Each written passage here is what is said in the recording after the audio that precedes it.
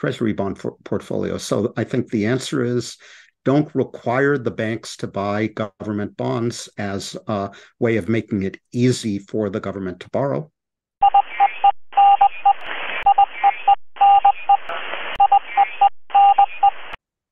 Dr. Eichengreen, reading your book, it is obvious that central banks are integral to modern economies, uh, kind of the lenders of last resort.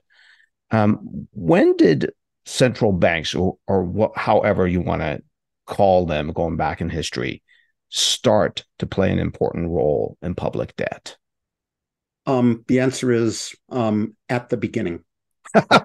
or as long as central banks have existed, they have played a role in the market for public debt. So central banks were created as bankers to the government to provide financial services to the government, to advance the government funds when uh, the government was desperate for, for money in order to fight a war or whatever, and then to help the government uh, and uh, place uh, bonds with the public. They acted as underwriters, if you will, for public debt. What an underwriter does is advance money to the borrower and then market the bonds. And if it's a private underwriter, take a cut in of the revenues in response in in, in return to, for providing those services. In the case of central banks, rather than taking a cut of the revenues, they might get other privileges as recompense, like yeah, monopoly on the on on issuing currency or something like that. So it has always been the case that central banks act as bankers to the government, um, and uh, it's still the case to a more limited extent today. Um, the story of central banks, which you say goes back to the beginning, uh, if if you know you can go back to Italian families that acted as banks, although not central banks to other nations, um, and and and move move forward in history, banks such as Bank of England or the first and second banks of the United States. The the interesting, the funny thing about them is that they were actually private entities. Well, pseudo private entities, I guess. How did that work? Like, how can you have someone that wants to make a profit help the nation? Isn't there a conflict of interest inherently baked it, in there? It, it's a very complicated relationship. So I, I, I would remind you that the Federal Reserve System today has private shareholders. Uh, I'm sorry, say that again.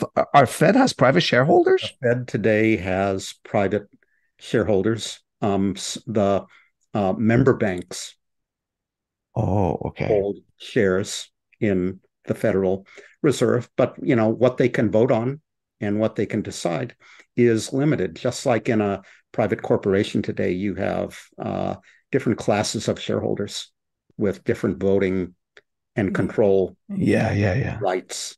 Uh, the same has uh, is is true of the Fed, and uh, was even more true in, in, in past cases where central banks were purely private entities, where there was the understanding that the government would take them over if they didn't uh, mainly uh, pursue policies that were in the public interest. So oh, I see this, that this implicit threat over there, right? In the background that that that basically uh, dictated that uh, there there were certain understandings about what was in the public interest, and even a private bank that was banker to government that had monopoly privileges on note issue uh, would would not abuse those privileges. Um, when it comes to central banks, I'm a bit bashful to ask this question. It may, it may sound too silly and too rudimentary, but I'll ask it anyway um, you know, reading your book, this, this I came across this several times, but I, it, it doesn't even have to be your book. You can read the Wall Street Journal today, where the Fed buys bonds floated by the U.S. Treasury and other central banks, so to speak, do that. They they buy their own nation's debt.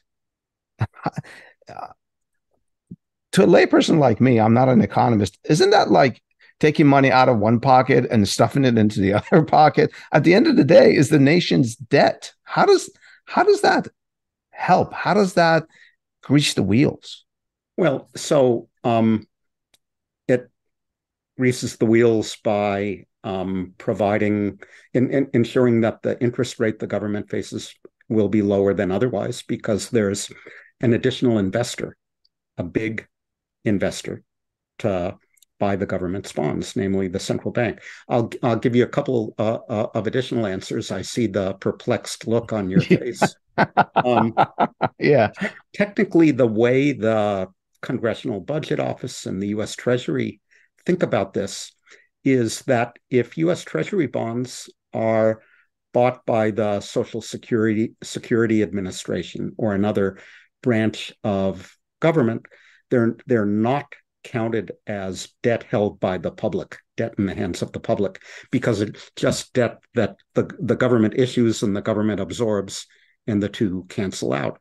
However, debt held by the Federal Reserve is counted as debt in the hands of the public. So why we treat these things differently? One answer would be ask the Treasury and and and uh, and, and, the other public accountants and the but CBO, I, yeah. I, I, I think the answer is that um, uh, when the when the uh, the the Fed doesn't always remit profits to the government. So when the Fed earns interest income on the government bonds that it holds, it can turn around and and and use those profits for different things like backing for the loans that it provides to banks in need and so forth. I'm not sure that was a terribly clear or convincing answer, but the uh, the, the the the way this matter is treated in the United States is that the the Fed is not regarded as simply another pocket or branch of government from this point of view, but um, uh, other um, branches uh, uh, of government like the Social Security Trust Fund are. So when Social Security holds government bonds, though uh, that debt and those investments basically cancel out. Yes. So the debt held by the Social Security Trust Fund, for example, is not debt held by um, uh, Fannie and Freddie, I think, is not, but debt he- held by the Fed is counted as debt in the hands of the public. So if you look at the statistics, there are two, two numbers out there total debt of the federal government and debt of the federal government held by the public. And oh, wow. And the latter includes debt held by the Fed, excludes debt held by entities like the Social Security Administration. you appreciate how complicated this is. Gets more complicated every minute we talk. um, in your book, you, you you warn a lot, quite a bit. There's a lot of different uh, anecdotes, passages uh, that warn about involvement of private banks in public debt. Uh, on one of the pages, just, uh, I forget the context, but I'll read it. It says, relying on the banking system for policy implementation is just a bad thing. Yet here we are, all all banks, Wells Fargo, JP Morgan, BofA, name them, and I'm sure it's the same in Europe, own US debt. Is there a specific type of debt or a specific type of involvement that your book talks about, or is this just a general sort of blanket statement for everything? No, it, it, it, it's a statement about holding uh, excessive amounts of public debt and not hedging the interest rate risk. Silicon kind of like so, yeah. There you go. Was, uh, is the paradigmatic case in point where it experienced basically a fourfold increase in its deposits between 2018 and 2022, and it didn't know where to park all this money uh, couldn't find good places to in, in, invest it or lend it, so it parked it in treasury bonds. And then, uh, in its wisdom, it took off the interest rate hedges that it had purchased previously. This was a way to goose profits yeah. in the short run. And one might think a way to goose CEO pay and bonuses. And then when interest rates rose, it got hammered by uh, losses on this big treasury bond portfolio, uh, unhedged treasury bond for- portfolio. So I think the answer is don't require the banks to buy government bonds as a way of making it easy for the government to borrow. Um, I see. Um, attach appropriate risk weights to investments in government bonds. So I was in India two weeks ago, and I I, I learned that the risk weights on state government bonds in India are zero, which oh. is contrary to best practice internationally, what everybody says one should do. But this is a way of making it easier for the states to borrow at lower interest rates. And it can come back to bite you if it causes the banks to load up on government bonds because they don't have to put aside capital in order to uh, back provide backing against the possible risks. So going um, back to your book, in current state of India, as in their financial affairs, uh, if India's public debt, national debt, goes sour, it'll it may just completely demolish the banking system too.